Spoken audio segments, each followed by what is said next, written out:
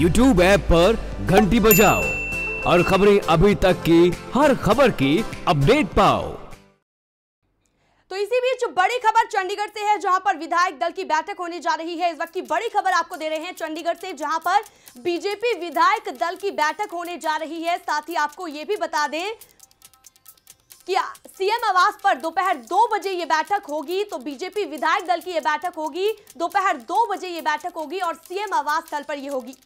इसी खबर पर ज़्यादा जानकारी के लिए कुमार रमेश हमारे संवाददाता फ़ोन लाइन पर जुड़ गए हैं।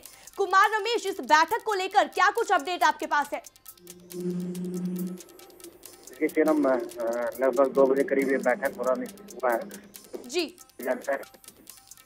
अभी बताया जा रहा है कि हाईको को पार्टी अध्यक्ष ने नई कमान दी है। और जिन इलाकों में भारतीय जनता पार्टी की हार हुई थी उनको वहाँ का जो है एक हिसाब से पर्यवेक्षक के रूप में लगाया गया है। वो वहाँ पर तलाशेंगे आखिर कोविड के समय में भारतीय जनता पार्टी की जीत क्यों नहीं हो पाई जबकि मोदी लहर थी। तो उन कारणों को तलाश करेंगे उसके बाद उनको जो भी उनकी विस्तृत रिपोर्ट होगी वो लाके पार्टी हाईकमान को सौंपेंगे।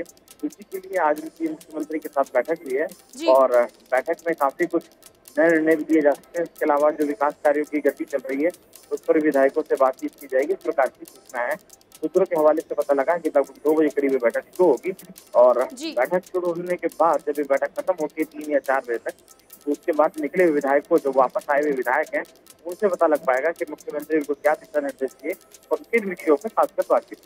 जी बिल्कुल। कुमार रमेश कौन कौन खास लोग वहाँ पर आज मौजूद रहेंगे? देखिए प्रदेश अध्यक्ष सुभाष बराला मीडिया प्रभारी राजीव जैन होंगे वहाँ पर।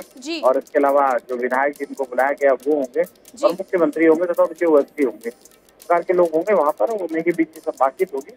और विस्तृत रिपोर्ट बताई जाएगी कि किस इलाके में कितना कितना विकास कार्य करवाया गया है। और आगे आगामी क्या आवश्यकता है उसके बारे में भी उसकी रिपोर्ट मांगी चलिए बहुत बहुत शुक्रिया कुमार रमेश तमाम जानकारी देने के लिए। तो बीजेपी विधायक दल की बैठक होने जा रही है। सीएम आवास पर यह बैठक होगी। साथ ही आपको ये भी बता दें कि दोपहर दो बजे ये बैठक हो सकती है।